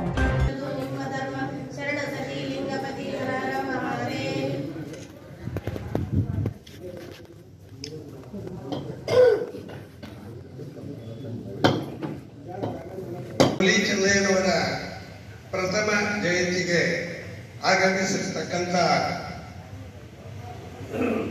ಮಾನ್ಯ ಎಸ್ ವಿ ಎಂ ಕಾಲೇಜಿನ ಮಾಜಿ ಪ್ರಾಂಶುಪಾಲರಾದ ಅಲ್ಲದೆ ಚಿಕ್ಕಪ್ಪನವರಾದ ಪೂಜಾರಿ ಸರ್ ಗುರುಗಳಲ್ಲಿ ವಂದಿಸಿ ಅದೇ ರೀತಿ ತಾಲೂಕಾ ಕಂದಾಯ ಅಧಿಕಾರಿಗಳಾದ ಬಸವರಾಜ್ ಸಾಹೇಬರಲ್ಲಿ ವಂದಿಸಿ. ಗುರುಗಳು ಇದ್ದಿಲ್ಲ. ಇದ್ರು ಅಧಿಕೃತವಾಗಿದ್ದಿಲ್ಲ. ಅದಕ್ಕಾಗಿ ಮಾನ್ಯ ಕರ್ನಾಟಕ ಕೇಂದ್ರ ಸರ್ಕಾರ ನುಲಿಯ ಹುಣ್ಣಿಮೆ ದಿನ ನುಲಿಯ ಚಂದ್ರಯ್ಯನವರ ಜಯಂತಿಯನ್ನ ಆಚರಿಸತಕ್ಕ ಅವರು ಆದೇಶ ಹೊರಡಿಸಿದ್ದಕ್ಕಾಗಿ ನಮ್ಮ ಸಮಾಜ ಒಟ್ಟಾರೆಯಾಗಿ ಎಚ್ ಎಸ್ ಪೂಜಾರಿ ಪ್ರೊಫೆಸರ್ ಅವರು ಹೇಳಿದಂಥ ಮಾತಿನಲ್ಲಿ ಅವ್ರು ಹೇಳಿದ ಹಾಗೆ ಅನುಭವ ಮಂಟಪದಲ್ಲಿ ಎಲ್ಲ ಸಾರಾಂಶ ಆದ್ಮೇಲೆ ಬಸವಣ್ಣನವರು ಮಾತಾಡ್ತಾರೆ ಸಮುದ್ರ ಗಣವೆಂಬನೆ ತರಿಯ ಮೇಲೆ ಅಡಗಿದೆ. ಸಮುದ್ರ ಗಣವೆಂಬನೆ ತರಿಯ ಮೇಲಡಿಗಿದೆ ದರಿಯ ಗಣ ಎಂಬನೆ ನಾಗೇಂದ್ರನ ಪಣಿಯ ಅಡಗಿದೆ. ನಾಗೇಂದ್ರನ ಗಣ ಎಂಬನೆ ಪಾರ್ವತಿಯ ಕೀರುಗಳಲ್ಲಿನ ಕುಣಿಕೆಯಾಗಿದ್ದು ಪಾರ್ವತಿ ಮನೆ ಶಿವನ ಅರ್ಥಾಂಗಣಿಯಾಗಿದ್ದಾಳೆ ಕೂಡಲ ಸಂಗಮದ ರೈತರಿಗೆ ಹೊಲಕ್ಕೆ ಹೋಗುವ ಬಂಡೆ ರಸ್ತೆ ಶಿಥಿಲಗೊಂಡು ತುಂಬಾ ತೊಂದರೆಯಾಗಿತ್ತು. ಈ ರಸ್ತೆಯನ್ನು ದುರಸ್ತಿ ಮಾಡಿಕೊಡಿ ಎಂದು ಗ್ರಾಮಸ್ಥರು ಸಮಾಜ ಸೇವಕ ಎಸ್ಆರ್ ನವಲಿ ಹಿರೇಮಠ ಅವರನ್ನು ಕೇಳಿಕೊಂಡ ಒಂದು ತಿಂಗಳಲ್ಲಿಯೇ ರಸ್ತೆಗೆ ಚಿಕ್ಕದಾದ ಬ್ರಿಡ್ಜ್ ನಿರ್ಮಿಸಿ ರೈತರಿಗೆ ಅನುಕೂಲ ಮಾಡಿಕೊಟ್ಟಿದ್ದಾರೆ. ಹೀಗಾಗಿ ಸ್ವಂತ ಖರ್ಚಿನಲ್ಲಿಯೇ ಕಾಮಗಾರಿ ಕೈಗೆತ್ತಿಕೊಂಡ ಶ್ರೀ ನವಲಿ ಹಿರೇಮಠ್ ಅವರಿಗೆ ಗ್ರಾಮಸ್ಥರು ಹೃತ್ಪೂರ್ವಕ ಅಭಿನಂದನೆ ಸಲ್ಲಿಸಿದ್ದಾರೆ. Shivakumar Kembavi Hiremath, NKS TV four. Vijayanagara ಜಿಲ್ಲೆ ಕೂಡ್ಲಿಗಿ ಗ್ರಾಮ ದೇವತೆ ಶ್ರೀ ಉರಮ್ಮ ದೇವಿ ದೇವಸ್ಥಾನದ ನೂತನ ಕಟ್ಟಡದ ಭೂಮಿ ಪೂಜೆ ಜರುಗಿತು. ಎರಡು ಕೋಟಿ ರೂಪಾಯಿಗೂ ಅಧಿಕ ವೆಚ್ಚದಲ್ಲಿ ನಿರ್ಮಾಣವಾಗುತ್ತಿರುವ ಶ್ರೀ ಉರಮ್ಮ ದೇವಿ ದೇವಸ್ಥಾನ ನಿರ್ಮಾಣ ಕಾರ್ಯಕ್ರಮಕ್ಕೆ ಚಾಲನೆ ನೀಡಲಾಯಿತು. ಕಾರ್ಯಕ್ರಮದಲ್ಲಿ ಉಜ್ಜಯಿನಿ ಪೀಠದ ಶ್ರೀ ಜಗದ್ಗುರು ಸಿದ್ಧಲಿಂಗ ಶಿವಾಚಾರ್ಯ ಸ್ವಾಮಿಗಳು ಮತ್ತು ವಿವಿಧ ಮಠಾಧೀಶರು, ಕೂಡ್ಲಿಗಿ ಶಾಸಕರಾದ ಎನ್ ವೈ ಗೋಪಾಲಕೃಷ್ಣ, ಎಚ್ ವೀರನ್ಗೌಡರು, ಚಿದಾನಂದ ಸ್ವಾಮಿ ಉರಮ್ಮದೇವಿ ಪೂಜಾರಿ ಹಾಗೂ ಕರ್ನಾಟಕ ಪತ್ರಕರ್ತರ ಸಂಘದ ಅಧ್ಯಕ್ಷ ಬಡಿಗೇರ್ ನಾಗರಾಜ್, ಅವರ ಸಹೋದರ ಬಡಿಗೇರ್ ವೀರಣ್ಣ, ಪಟ್ಟಣ ಪಂಚಾಯಿತಿ ಸದಸ್ಯ ಕಾವಲ್ಲಿ ಶಿವಪ್ಪ ನಾಯಕ, ಬಂಗಾರಿ ಹನುಮಂತು ಸೇರಿದಂತೆ ವಿವಿಧ ಪಕ್ಷಗಳ ಮುಖಂಡರು ಉರಮ್ಮದೇವಿ ದೇವಸ್ಥಾನದ ಸೇವಾ ಸಮಿತಿಯ ಪದಾಧಿಕಾರಿಗಳು ಹಾಗೂ ಸದಸ್ಯರು, ಹಿರಿಯ ನಾಗರಿಕರು, ವಿವಿಧ ಸಮುದಾಯಗಳ ಮುಖಂಡರು ಉಪಸ್ಥಿತರಿದ್ದರು. Viji Rishabhendra NKS TV four, Kudligi.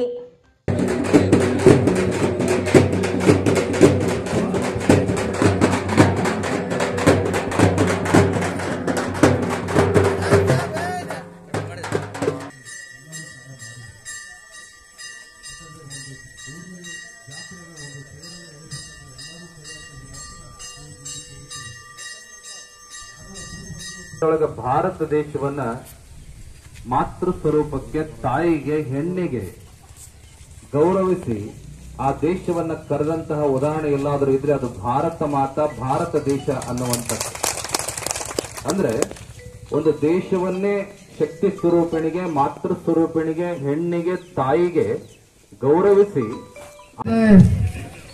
ಬೇರೆ ಇತರೆ ಕಾರ್ಯಕ್ರಮಗಳಂತೆಲ್ಲ, ದಯಮಾಡಿ ಎಲ್ಲೆಲ್ಲಿ ವೇದಿಕೆಯಲ್ಲಿ ಇರ್ತಕ್ಕಂಥ ಎಲ್ಲರೂ ಕೂಡ ನೀವು ಸೀಟ್ಗಳಲ್ಲಿ ಕೂತ್ಕೊಂಡ್ರೆ ಬಹಳ ಕಾರ್ಯಕ್ರಮ ಅಚ್ಚುಕಟ್ಟಾಗಿ ಬರ್ತದೆ ಅಂತೇಳಿ ಹೇಳಕ್ ಇಷ್ಟಪಡ್ತಿದ್ದೀವಿ ಎಪ್ಪತ್ತೈದನೆಯ ಸ್ವಾತಂತ್ರ್ಯ ಮಹೋತ್ಸವದ ಅಂಗವಾಗಿ ದಿನಾಂಕ ಹದಿಮೂರು ಎಂಟು ಎರಡು ಸಾವಿರದ ಇಪ್ಪತ್ತೆರಡರಿಂದ ದಿನಾಂಕ ಹದಿನೈದು ಎಂಟು ಎರಡು ಸಾವಿರದ ಇಪ್ಪತ್ತೆರಡರವರೆಗೂ ಪ್ರತಿ ಮನೆ ಮನೆಯ ಮೇಲೆ ರಾಷ್ಟ್ರಧ್ವಜ ಕಟ್ಟಲು ತಯಾರಿಯ ಬಗ್ಗೆ ಪೂರ್ವಭಾವಿ ಸಭೆಯನ್ನು ಪತ್ರಿಕಾ ಮಾಧ್ಯಮದೊಂದಿಗೆ ಕುಕನೂರು ತಾಲೂಕು ಕಾರ್ಯನಿರ್ವಾಹಕ ಅಧಿಕಾರಿ ರಾಮಣ್ಣ ದೊಡ್ಮನಿ ಮಾತನಾಡಿದರು.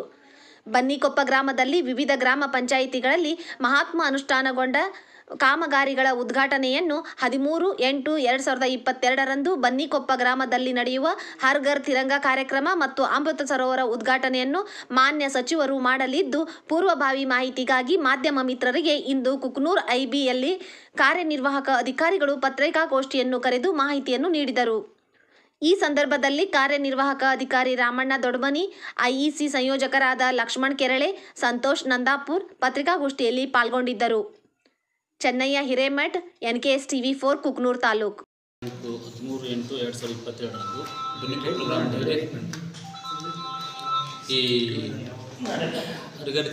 Sir ಹೋಗ್ಬಿಡ್ರಿ.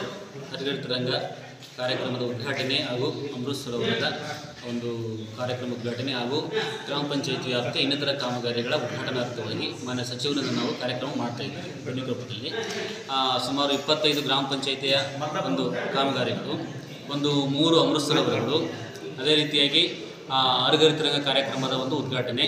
ಈ ಒಂದು ನಿಟ್ಟಿನಲ್ಲಿ ಈಗಾಗಲೇ ನಮ್ಮ ಗ್ರಾ, ತಾಲೂಕು ಪಂಚಾಯತಿ ವ್ಯಾಪ್ತಿಯ ತಾಲೂಕಿನ ಎಲ್ಲ ಹಳ್ಳಿಗಳಿಗೂ ಕೂಡ ನಾವು ಸಾಕಷ್ಟು ಧ್ವಜ, ಧ್ವಜಗಳನ್ನು ಸಪ್ಲೈ ಮಾಡಿದ್ದೀವಿ. ನಾಳೆ ದಿನ ನಾವು ಪ್ರಾರಂಭ ಮಾಡಿ ಸುಮಾರು ನಾಳೆ ನಾವು ಒಂದು ಇಪ್ಪತ್ತು ಅಡಿಗಳನ್ನು ನೂರು ನೂರು ನೂರಕ್ಕೆ ನೂರರಷ್ಟು ಧ್ವಜವನ್ನು ಮನೆ ಮೇಲೆ ಹಾರಿಸ್ತಕ್ಕಂಥ ವ್ಯವಸ್ಥೆಯನ್ನು ಮಾಡಿದ್ದೀವಿ. ಅದರ ಒಂದು ಒಂದು ಅದರ ಒಂದು ಸಂದರ್ಭಕ್ಕಾಗಿ ನಾವು ನಾಳೆ ಸಾಹೇಬ್ರಿಂದಲ್ಲಿ ಉದ್ಘಾಟನೆ ಕಾರ್ಯಕ್ರಮ ಹಮ್ಮಿಕೊಂಡಿವಿ ಆ ಉದ್ಘಾಟನೆ ಕಾರ್ಯಕ್ರಮಕ್ಕೆ ಎಲ್ಲಿ ಇಟ್ಕೊಂಡಿರಿ ಸರ್ ಉದ್ಘಾಟನೆ? ಬನ್ನಿಕೊಪ್ಪ ಗ್ರಾಮ. ಬನ್ನಿಕೊಪ್ಪ ಗ್ರಾಮ. ಯಾವುದು ಪ್ಲೇಸ್ ಅದೇ ಸರ್ ರಂಗಮಂದಿರ ಇದೆ ಸರ್ ಅಲ್ಲಿ. ರಂಗಮಂದಿರ. ಚಿತ್ರಮಂದಿರ ಮುಂದೆ ರಂಗಮಂದಿರ ಇದೆ. ಆ, ಸಾಹೇಬರು ಸಿ ಯು ಮೇಡಮ್ ಯಾಕಂದ್ರೆ ಪ್ರೋಟೋಕಾಲ್ ಪ್ರಕಾರ ಎಲ್ಲ ಅಧಿಕಾರಿಗಳನ್ನು ಜನಪ್ರತಿನಿಧಿಗಳನ್ನ ನಾವಲ್ಲಿ ಆಹ್ವಾನ ಅಲ್ಲ ಸರ್ ಇದು ಹರ್ಗರ್ ಹರ್ ಘರ್ ಕಾ ತಿರಂಗ ಈ ಯೋಜನೆ ಐತಲ್ಲ ಎಷ್ಟು ಸಮರ್ಪಕವಾಗಿ ಆಗುತ್ತೆ ಅನ್ನೋದ್ರ ಬಗ್ಗೆ? ಸರ್ ನಾವೀಗ ಎಷ್ಟು ನಾವು ನೀವು ಎಷ್ಟು ತಿಳುವಳಿಕೆ ಮೂಡಿಸಿ ಜನರಿಗೆ ಆ ತಿಳುವಳಿಕೆ ಮೇಲೆ ಡಿಪೆಂಡ್ ಒಂದೇದು ಸಾಕಷ್ಟು ಜನ ತಿಳುವಳಿಕೆ ನಡೆಯುವಲ್ಲ ಹಂಡ್ರೆಡ್ ಪರ್ಸೆಂಟ್ ಅಂತಂದು ನಮ್ಗೆ ಸರ್ಕಾರ ನಿರ್ದೇಶನ ಹಂಡ್ರೆಡ್ ಪರ್ಸೆಂಟ್ ಮಾಡ್ತಕ್ಕಂಥ ನಾವು ಗುರಿ ಇಟ್ಕೊಂಡು ಮಾಡೇ ಮಾಡ್ತೀವಿ ಸರ್. ಆಮೇಲೆ ನೆಕ್ಸ್ಟ್ ಇದಾದ ಇದಲ್ದೇ ಈಗ ಅಮೌಂಟ್ ಒಂದು ಧ್ವಜಕ್ಕೆ ಇಪ್ಪತ್ನಾಲ್ಕು ರೂಪಾಯಿ ನೀವು ಅಮೌಂಟ್ ಫಿಕ್ಸ್ ಮಾಡಿದ್ರಿ. ನೀವೆಲ್ಲ ಟೋಟಲಿ ಬಂದು ಗೌರ್ಮೆಂಟಿಂದ ಒಂದು ಇಪ್ಪತ್ನಾಲ್ಕು ರೂಪಾಯಿ. ಎಲ್ಲರೂ ಇದನ್ನು ತಗೊಂಡಾರ ಎಲ್ಲ ಎಲ್ಲರೂ ತೊಗೊಂಡ್ರು ಸರ್. ನಾವೇನು ಮಾಡೀವಿ ಅವ್ರು ಬಂದು ನಮ್ಮ ಕೇಳೋಕ್ಕಿಂತ ಪೂರ್ವದಲ್ಲಿ ಗ್ರಾಮ ಪಂಚಾಯತ್ ಸಭೆ ಮಾಡಿಬಿಟ್ಟಿವಿ ಅಲ್ಲ ಗ್ರಾಮ ಪಂಚಾಯತಿಂದ ಸಪ್ಲೈ ಆಗಿದ್ದವು ಸರಿ ಆದ್ರೆ ಎಲ್ಲರೂ ತೊಗೊಂಡ್ರೆ ಎಲ್ಲರೂ ತೊಗೊಂಡು ಸರ್. ಪಕ್ಕ ತೊಗೊಂಡು ಇಪ್ಪತ್ತು ರೂಪಾಯಿ ಯಾರು ಇನ್ನು ಯೋಚನೆ ಮಾಡಕತ್ತೀವಿ ಸರ್. ಇಪ್ಪತ್ತು ರೂಪಾಯಿ ತಹಶೀಲ್ದಾರ್ ಎಂ ವಿ ರೂಪ, ನೂಲಿಯ ಚಂದಯ್ಯ ಅವರ ಭಾವಚಿತ್ರಕ್ಕೆ ಪುಷ್ಪ ನಮನ ಸಲ್ಲಿಸಿ ಮಾತನಾಡಿ ಕಾಯಕಯೋಗಿ ಅಣ್ಣ ಬಸವಣ್ಣನವರ ಶಿಷ್ಯರಾಗಿ ಅನುಭವ ಮಂಟಪದಲ್ಲಿ ವಿಚಾರಧಾರೆಯನ್ನು ಮಂಡಿಸಿ, ಸಾಮಾಜಿಕ ಕ್ರಾಂತಿ ಮಾಡಿದ ನೂಲಿಯ ಚಂದಯ್ಯ ಅವರ ಸಂದೇಶಗಳು ಸರ್ವಕಾಲಿಕ ಸತ್ಯವಾಗಿವೆ. ಜಾತಿ, ಮತ, ಪಂಥಗಳಿಂದ ಮುಕ್ತವಾದ, ಆರೋಗ್ಯವಂತ ಸಮ ಸಮಾಜದ ನಿರ್ಮಾಣಕ್ಕಾಗಿ ಹೋರಾಡಿದ್ದ ಶರಣ ಶ್ರೇಷ್ಠ ಚಂದಯ್ಯ ಅವರ ಜೀವನದ ಆದರ್ಶಗಳನ್ನು ಯುವಜನರು ಕಡ್ಡಾಯವಾಗಿ ಪಾಲಿಸುವ ಮೂಲಕ ಬದಲಾವಣೆಯ ದಿಕ್ಕಿನಲ್ಲಿ ಸಾಗಬೇಕು ಎಂದು ಕರೆ ನೀಡಿದರು. ತಾಲೂಕು ಪಂಚಾಯಿತಿಯ ಉದ್ಯೋಗ ಖಾತ್ರಿ ಯೋಜನೆಯ ಸಹಾಯಕ ನಿರ್ದೇಶಕ ಡಾಕ್ಟರ್ ನರಸಿಂಹರಾಜು ನುಲಿಯ ಚಂದಯ್ಯ ಅವರ ಜೀವನದ ಸಾಧನೆಗಳು ಹಾಗೂ ಸಂದೇಶ ಕುರಿತು ಮಾತನಾಡಿದರು. ತಾಲೂಕು ಕುಳುವ ಸಮಾಜದ ಅಧ್ಯಕ್ಷ ಕೆಟಿ ಕುಮಾರ್, ತಾಲೂಕು ನಯನಜ ಕ್ಷತ್ರಿಯ ಸಂಘದ ಸಂಸ್ಥಾಪಕ ಅಧ್ಯಕ್ಷ ಡಾಕ್ಟರ್ ಶಿವಪ್ಪ, ತಾಲೂಕು ಸಮಾಜ ಕಲ್ಯಾಣಾಧಿಕಾರಿ ಮಹೇಶ್, ಬಿಸಿಎಂ ಅಧಿಕಾರಿ ವೆಂಕಟೇಶ್ ಬಿಇಒ ಸೀತಾರಾಮ್, ತಾಲೂಕು ಪಂಚಾಯಿತಿ ಕಾರ್ಯನಿರ್ವಾಹಕ ಅಧಿಕಾರಿ ಸತೀಶ್ ಸೇರಿದಂತೆ ತಾಲೂಕು ಮಟ್ಟದ ಅಧಿಕಾರಿಗಳು ಕಾರ್ಯಕ್ರಮದಲ್ಲಿ ಭಾಗವಹಿಸಿ ಶರಣಶ್ರೇಷ್ಠ ನೂಲಿಯ ಚಂದಯ್ಯ ಅವರಿಗೆ ಭಕ್ತಿಪೂರ್ವಕ ನಮನಗಳನ್ನು ಸಲ್ಲಿಸಿದರು. Doctor KR Neelakantha, NKS TV four, Krishnarajapete, Mandya. ಆಗಿರುವಂಥದ್ದು ಅರಣ್ಯ ಸಮಸ್ಯೆಗಳು ಬೇಕಾದಷ್ಟಿದೆ ಕಂದಾಯ ಇಲಾಖೆ ವತಿಯಿಂದ ಸರ್ಕಾರದ ಮಟ್ಟದಲ್ಲಿ ಅದು ನಡೀತಾ ಇದೆ ಚರ್ಚೆ ಅರಣ್ಯವಾಸಿಗಳು ಇದ್ದವ್ರಿಗೆ ಸುಮಾರು ವರ್ಷದಿಂದ ಮಾಡಬೇಕಾದ್ರೆ ಅವರು ಯಾವ ರೀತಿ ಇದ್ದಾರೆ ಅವ್ರಿಗೆ ಹಕ್ಕು ಪ್ರಾಪ್ತಿ ಮಾಡೋದಕ್ಕೆ ಅದಕ್ಕೂ ಸಹ ಕಾನೂನುಗಳನ್ನ ರಕ್ಷಣೆ ಮಾಡೋ ನಿಟ್ಟಿನಲ್ಲಿ ಸರ್ಕಾರ ಇದೆ ಸೊ ಹಾಗಾಗಿ ಸರ್ಕಾರದ ವತಿಯಿಂದ ನಾವು ಏನು ಆದೇಶ ಪಾಲನೆ ಮಾಡ್ತೀವಿ ಅವರೆಲ್ಲ ನಾವು ಸರ್ಕಾರಿ ಅಧಿಕಾರಿಗಳು ತಮ್ಮ ಅವರನ್ನು ಕೂಡ ಅತ್ಯಂತ ಗೌರವಪೂರ್ವಕವಾಗಿ ಸಭೆಯಲ್ಲಿ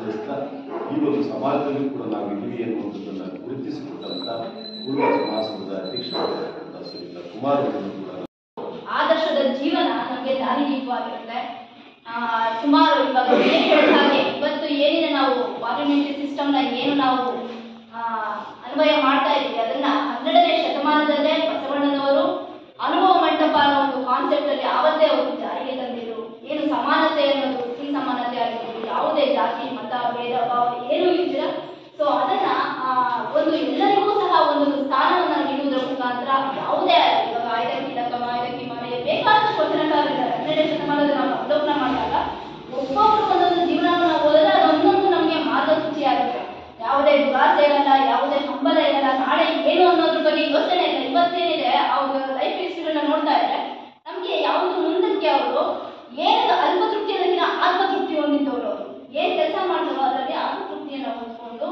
ಸಮಾಜಕ್ಕೆ ಒಂದು ಆದರ್ಶಪ್ರಾಯವಾಗಿ ಬದುಕಿದ್ರು ಅದೇ ರೀತಿ ಮಹನೀಯರು ಸಹ ಸಿದ್ದಯ್ಯನವರು ಅವರ ಕಾಯಕ ವೃತ್ತಿ ನೋಡಿದ್ರೆ ಮೇಯುವಂತ ಏನೋ ಕಸು ಬಸವಣ್ಣನವರ ಒಂದು ಸಮಕಾಲೀನದ ಶಿವಶರಣರಾಗಿದ್ದರು ಅವರು ಬಿಜಾಪುರ ಜಿಲ್ಲೆಯ ಶಿವಣಗಿ ಗ್ರಾಮದಲ್ಲಿ ಜನಿಸ್ತಾ ಇರೋದು ಕೊನೆಗೆ ಅವರು ಚಿತ್ರದುರ್ಗ ಜಿಲ್ಲೆಯ ಅಲ್ಲಿ ನಮ್ಮಲ್ಲಿ ಒಂದು ನವಿಲೂರು ಅಂತ ಕೇಳಿರುವಂಥದ್ದು ಅಲ್ಲಿ ಅವರು ಆವಾಸನ ಆಗ್ತಕ್ಕಂಥದ್ದು ಅವರ ಒಂದು ಉದ್ದೇಶ ಏನಂತ ಇತ್ತು ಅಂತಂದರೆ, ಕಾಯಕದಿಂದಲೇ ಎಲ್ಲವನ್ನು ಕೂಡ ನಾವು ಮಾಡಬೇಕು ಅನ್ನೋದು ಹನ್ನೆರಡನೇ ಶತಮಾನದ ಒಂದು ಚಿಂತನೆ ಇರುವಂಥದ್ದು. ಅಲ್ಲಿ ಸಾಕಷ್ಟು ಕಥೆಗಳು ಇರುವಂಥದ್ದಿದೆ. ಆದರೆ ಈಗ ಸಮಯದ ಒತ್ತಡ ಇರುವುದರಿಂದ ಒಬ್ಬ ಅವರೇನಂದ್ರೆ ಗುರುವಾದರೂ ಕೂಡ ಕಾಯಕದಿಂದಲೇ ಶಿವನ್ ಭಕ್ತಿ ಅಂತ ಹೇಳ್ತಾರೆ. ಲಿಂಗವಾದರೂ ಕೂಡ ರೈತರ ನಾನಾ ಬೇಡಿಕೆ ಈಡೇರಿಸುವಂತೆ ಒತ್ತಾಯಿಸಿ ತಾಲೂಕು ಕಚೇರಿ ಎದುರು ಶುಕ್ರವಾರ ಕರ್ನಾಟಕ ರಾಜ್ಯ ರೈತ ಸಂಘ ಹಾಗೂ ಹಸಿರು ಸೇನೆಯ ಕಾರ್ಯಕರ್ತರು ಪ್ರತಿಭಟನೆ ನಡೆಸಿ ತಹಶೀಲ್ದಾರ್ ಮೂಲಕ ಮುಖ್ಯಮಂತ್ರಿಗಳಿಗೆ ಮನವಿ ಸಲ್ಲಿಸಿದರು. ರೈತ ಸಂಘದ ಪ್ರಧಾನ ಸಂಚಾಲಕ ಕುಮಾರಯ್ಯ ಮಾತನಾಡಿ, ಕೃಷಿಯನ್ನು ಸಂರಕ್ಷಿಸಲು ರೈತ ಉತ್ಪನ್ನಗಳಿಗೆ ಲಾಭಾಂಶವುಳ್ಳ ಬೆಲೆ ಭದ್ರತೆ ಕಾಯ್ದೆ ಮತ್ತು ಋಣಮುಕ್ತ ಕಾಯ್ದೆಗಳ ಖಾಸಗಿ ಬಿಲ್ಗಳನ್ನು ಸರ್ಕಾರ ಅಂಗೀಕರಿಸಿ ಜಾರಿಗೊಳಿಸಬೇಕು. ಸ್ವಾಮಿನಾಥನ್ ವರದಿಯಂತೆ ಶೇಕಡಾ ಐವತ್ತರಷ್ಟು ಲಾಭಾಂಶ ಸೇರಿಸಿ ಕನಿಷ್ಠ ಬೆಂಬಲ ಬೆಲೆ ಸಿಗುವಂತೆ ಮಾಡಿ ಇದುವರೆಗೂ ಆಗಿರುವ ನಷ್ಟವನ್ನು ರೈತರ ಸಾಲ ಮನ್ನಾ ಮಾಡುವ ಮೂಲಕ ಭರಿಸಬೇಕೆಂದು ಆಗ್ರಹಿಸಿದರು.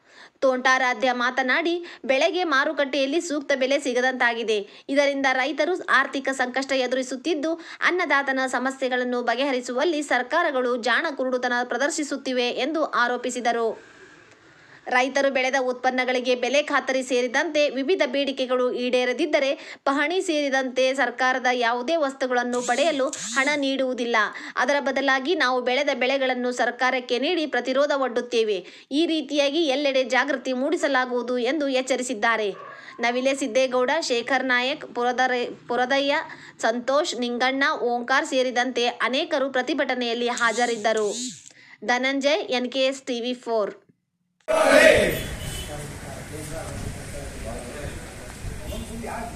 ಕೇಂದ್ರ ಮತ್ತು ರಾಜ್ಯ ಸರ್ಕಾರಗಳಿಗೆ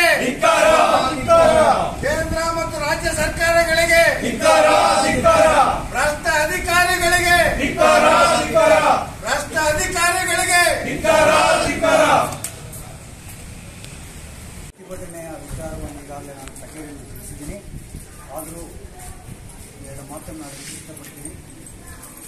ಮೊದಲನೇದಾಗಿ, ನಲವತ್ತು ವರ್ಷದಿಂದ ಮುಂದಿನ ಸ್ವಾಮಿಯವರು ಪ್ರಾರಂಭ ಮಾಡಿರ್ತಕ್ಕಂಥ ರೈತ ಸಂಘ ಯಲ್ಲಪ್ಪನವರ ಸಾರಥ್ಯದಲ್ಲಿ ಮುದ್ರೇಶನವರ ಸಾರಥ್ಯದಲ್ಲಿ ರೈತರಿಗೆ ಬೆಳೆ ಬೆಳೆದಂಥ ಬೆಲೆಯನ್ನು ನಿರ್ಧಾರ ಮಾಡಿ ಸರ್ಕಾರಕ್ಕೆ ನಲವತ್ತು ವರ್ಷದಿಂದಲೂ ಸಹ ಅವರು ನಿಗದಿ ಮಾಡಲಿಲ್ಲ. ಈ ಬೆಲೆ ನಿಗದಿಗೆ ಸಂಬಂಧಪಟ್ಟಂತೆ ಒಂದು ಕಮಿಟಿಯನ್ನು ಮಾಡಿದ ಸಮಿತಿಯನ್ನು. ಸ್ವಾಮಿನಾಥನ್ ಕಮಿಟಿಯನ್ನು ಸ್ವಾಮಿನಾಥನ್ ವರದಿಯನ್ನು ಕೊಟ್ಟಿದ್ದಾರೆ. ಆ ವರದಿಯಲ್ಲಿ ಇರ್ತಕ್ಕಂಥ ಅಂಶ ರೈತರಿಗೆ ಬಹಳ ಪೂರಕವಾಗಿದೆ, ಸಹಾಯಕವಾಗಿದೆ. ಆದರೂ ಸಹ ಅವರ ವರದಿಯಿಂದ ಜಾರಿ ತರಲಿಲ್ಲ ಈ ಸರ್ಕಾರ ಕೊನೆಗೆ ಅಂತಿಮವಾಗಿ ಬಸವರಾಜಪ್ಪರ ಮತ್ತೆ ನಂಜುಸ್ವಾಮಿಯವರ ಪ್ರಾರಂಭ ಮಾಡಿರ್ತಕ್ಕಂಥ ರೈತ ಸಂಘದ ಒಂದು ಕಾರ್ಯಕ್ರಮದಲ್ಲಿ ಒಂದು ತೀರ್ಮಾನ ತಗೊಂಡಿದ್ದೀವಿ. ನಿಮ್ಮ ಯೋಗ್ಯತೆಗೆ, ಸರ್ಕಾರದ ಯೋಗ್ಯತೆಗೆ ನಲವತ್ತು ವರ್ಷದಿಂದ ನಮ್ಮ ರೈತ ಬೆಳೆಗೆ ಬೆಲೆ ನಿಧಿ ಮಾಡೋಕ್ಕೆ ನಿಮಗೆ ಮನಸ್ಸಿಲ್ಲ, ನಿಮ್ಗೆ ಅದರ ಬಗ್ಗೆ ಅರಿವು ಇಲ್ಲ. ಅದರಿಂದ ನಾನು ರೈತನಾಗಿ ನನ್ನ ಬೆಳೆ ಬೆಳೆ ಬೆಳೆದಿರ್ತಕ್ಕಂಥ ಬೆಳೆಯ ನಿಗದಿಯನ್ನು ನಾನು ಮಾಡ್ತೀನಿ. ಆ ನಿಗದಿಯನ್ನು ಸರ್ಕಾರ ಒಪ್ಪಿಗೆಬೇಕು. ಎಲ್ಲ ರೀತಿಯಲ್ಲಿ ಒಪ್ಪಬೇಕು ಅದಕ್ಕೆ ಬೇರೆ ಬೇರೆ ಹಂತದಲ್ಲಿ ನಾವು ಕಾರ್ಯಕ್ರಮಗಳು ಹಾಕ್ಯಂತ ಇದ್ವಿ. ಇದು ನಿಮಗೆ ಎಚ್ಚರಿಕೆ ಕೊಡ್ತೀವಿ. ಇದರ ಒಂದು ಉದಾಹರಣೆ ಹೇಳ್ತೀವಿ. ಇನ್ನು ಮುಂದೆ, ಮುಂದಿನ ದಿನಗಳಲ್ಲಿ ತಾಲೂಕು ಕಚೇರಿಗಳಾಗ್ಬೋದು ಅಥವಾ ಬೇರೆ ಯಾವುದೇ ಸರ್ಕಾರಿ ಕಚೇರಿಗಳಾಗ್ಬೋದು ಬ್ಯಾಂಕ್ಗಳಿಗಾಗ್ಬೋದು ನಮ್ಮ ದೇಶ ಭಾರತಕ್ಕೆ ನಾಳೆ ಆಗಸ್ಟ್ ಹದಿನೈದಕ್ಕೆ ಸ್ವಾತಂತ್ರ್ಯ ಬಂದು ಎಪ್ಪತ್ತೈದು ವರ್ಷ ಪೂರೈಸುತ್ತದೆ. ಇದರ ಒಂದು ಸವಿನೆನಪು ನಮ್ಮ ದೇಶದಲ್ಲಿ ಅಜರಾಮರವಾಗಿ ಉಳಿಯಲೆಂದು ನಮ್ಮ ದೇಶದ ಪ್ರಧಾನಮಂತ್ರಿ ಶ್ರೀ ನರೇಂದ್ರ ಮೋದಿಜಿ ಅವರು ಅಮೃತ ಮಹೋತ್ಸವ ಆಚರಿಸಲು ದೇಶದ ಜನತೆಗೆ ಆಗಸ್ಟ್ ಎರಡರಂದು ಹರ್ ಘರ್ ತಿರಂಗ ಅಭಿಯಾನಕ್ಕೆ ಚಾಲನೆ ನೀಡಿದರು. ಅಲ್ಲಿಂದ ಪ್ರಾರಂಭವಾದ ಈ ಒಂದು ಅಭಿಯಾನ ಹಳ್ಳಿಗಳಲ್ಲೂ ಪಸರಿಸಿದೆ.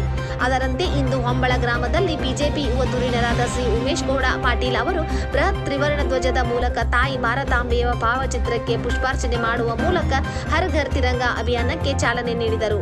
ಚಕ್ಕಡಿಯಲ್ಲಿ ಶಾಲಾ ವಿದ್ಯಾರ್ಥಿನಿಯರು ಸ್ವಾತಂತ್ರ್ಯ ಹೋರಾಟ ಮಾಡಿದ ವೀರ ವನಿತೆಯರ ಉಡುಗೆಯನ್ನು ತೊಟ್ಟು ಕಂಗೊಳಿಸುತ್ತಿದ್ದರು. ಅಲ್ಲದೆ ದೇಶದ ಸೈನ್ಯದಲ್ಲಿ ಸೇವೆ ಸಲ್ಲಿಸಿದ ಮತ್ತು ಸಲ್ಲಿಸುತ್ತಿರುವ ಯೋಧರನ್ನು ಈ ಕಾರ್ಯಕ್ರಮಕ್ಕೆ ಆಹ್ವಾನ ನೀಡಿ ಈ ಒಂದು ಅಭಿಯಾನಕ್ಕೆ ಮತ್ತಷ್ಟು ಮೆರುಗು ಬರುವಂತೆ ಮಾಡಲಾಗಿತ್ತು.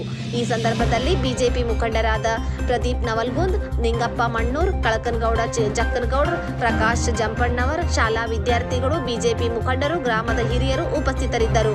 Chandrashekar Gowda Patil, NKS TV four Naragod.